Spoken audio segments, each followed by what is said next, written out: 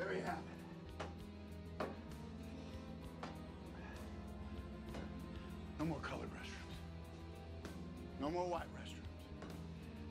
Just plain old toilets. Go wherever you damn well please.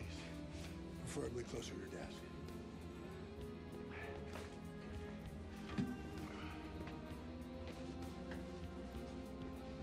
Here at NASA, we all pee the same color.